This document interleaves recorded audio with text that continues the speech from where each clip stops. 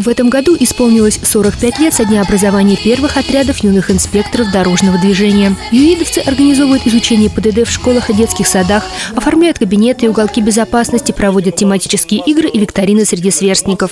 Сегодня агитбригады успешно работают в каждой школе района.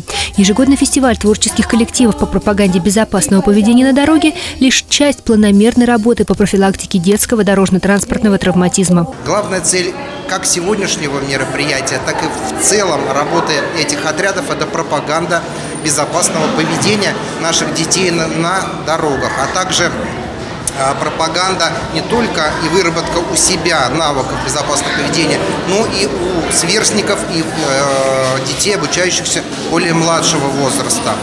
Кроме того, ребята задействованы во внеурочное время, вот, Э, ну, совершают определенные выходы э, вместе с инспекторами дорожного движения на дорогу, э, проводят беседы по профилактике дорожного, детского дорожного транспортного травматизма. Креативную программу под названием «Жизнь безопасности» показали воспитанники Одинцовского центра эстетического воспитания.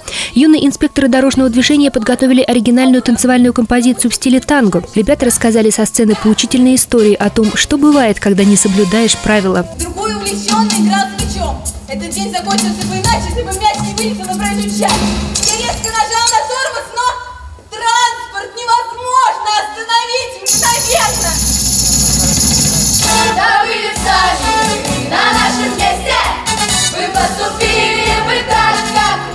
Профилактические акции – важная составляющая работы госавтоинспекции. Сотрудники дорожной полиции регулярно проводят мероприятия, направленные на снижение детского дорожно-транспортного травматизма. Агитбригада ЮИД – незаменимые помощники в решении этой задачи. Проблематика детского дорожного травматизма, она очень Э, как бы велика и связано это с тем, что, что дети, зачастую оказавшись э, во дворе, в мегаполисе, они не готовы э, к той ситуации, которая ожидает на дороге. Действительно, что проблема есть небольшая в том, что микрорайоны строятся, и зачастую инфраструктура не позволяет обеспечить им полную безопасность дорожного движения и нахождения на дороге.